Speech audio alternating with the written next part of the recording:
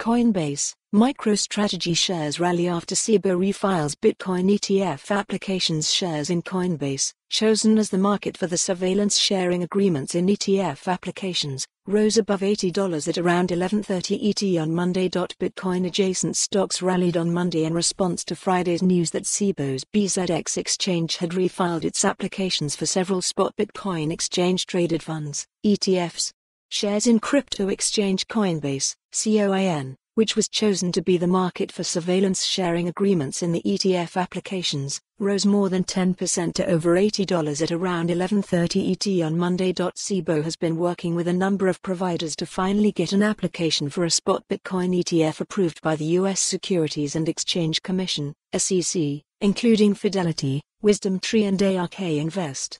Meanwhile, BlackRock, Blocks, is doing the same with Nasdaq. After having their applications rejected by the SEC for not naming the exchange they were working with on surveillance sharing agreements, Cboe refiled, naming Coinbase as the firm in question. Coin's upward trend mirrored that of BTC itself, which was up around 2% on the day above $31,000 around the same time. MicroStrategy, MSTR, the business intelligence firm which holds over $4.6 billion worth of Bitcoin, BTC, also saw its shares rally, rising around 10% to $375, their highest level in over a year. The increasing chances of a spot Bitcoin ETF finally getting approved by the SEC is seen by crypto analysts as bullish for BTC, since it could simplify adoption by traditional investors with stock accounts. Read more. Probability for US approval of a follow the URL for the full article for more on this story. Visit the news article link.